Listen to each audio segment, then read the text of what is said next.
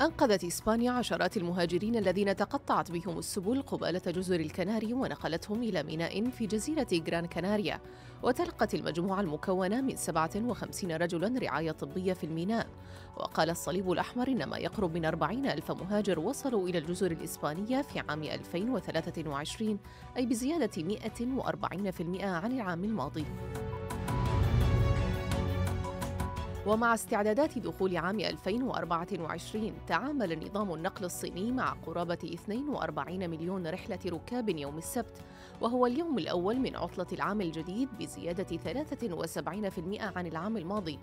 واستضاف نظام السكك الحديدية الوطني الصيني ما يقدر بنحو 16 مليون مسافر فقط في يوم السبت بينما سافر حوالي 23.5 مليون شخص عن طريق البر وقرابة مليونين بالطائرة و600 ألف آخرين بالقوارب وفقا للتقديرات. تستعد لندن لأكبر عرض للألعاب النارية لليلة رأس السنة في المملكة المتحدة. ويقوم العمال بتحميل الألعاب النارية على المراكب الثلاثة التي سيتم إطلاقها منها. مع ما يقرب من 120 ألف شعلة نارية ضمن احتفالات مدينة لندن.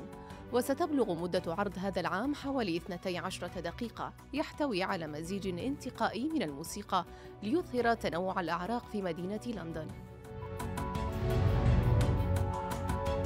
أما عن الاحتفال الشهير بمدينة نيويورك كشف المنظمون عن تصميم جديد للكرة البلورية التي سيتم إسقاطها في منتصف ليلة رأس السنة الجديدة 2024 وتتميز نجمة العد التنازلي الآن بنمط ربطة العنق فيما يقول المنظمون إنها تتوافق مع تصميم تايمز سكوير.